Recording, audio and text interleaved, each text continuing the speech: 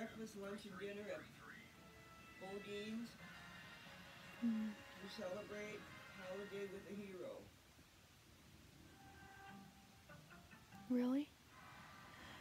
We will donate all the proceeds of the day to the holiday for hero. Like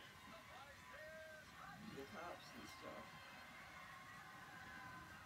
Here I put a big thank you to the restaurant for sponsoring holiday for heroes. Very delicious lunch.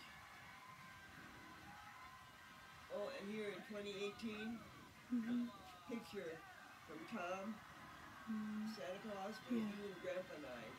Oh. Candy's not allowed out there when the cat. So,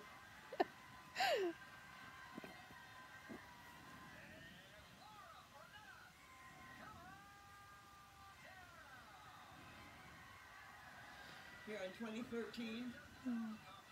another one coming up on Tuesday for her and her daddy since they only are a day apart and he had to work yesterday during the party.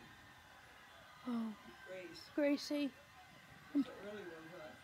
Yeah. Showed it with a real big cake. When she turned a year old. Yeah.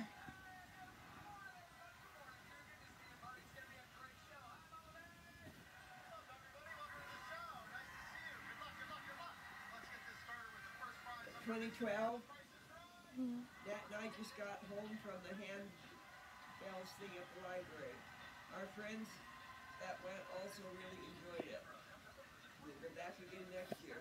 Then we went to Taco Bell drive-through and waited forever and of course Topsy Lane Starbucks.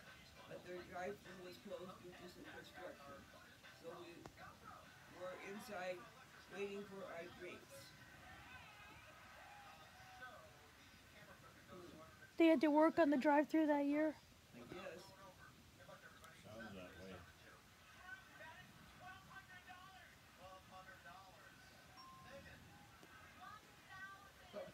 Twenty eleven. Ouch, ouch, and some more ouch. Just got poked again by my nephew. Scotty. He used to poke me all the time, know. yeah. Here's another one. 2011.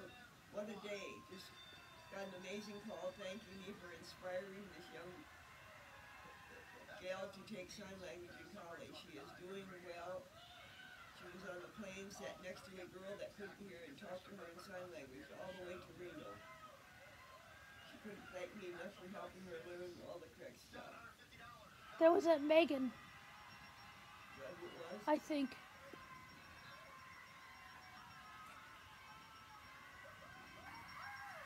Twenty eleven, went to IHOP and it was awesome, awesome. It is so beautiful inside. The workers were so happy to see us. Lots of hugs.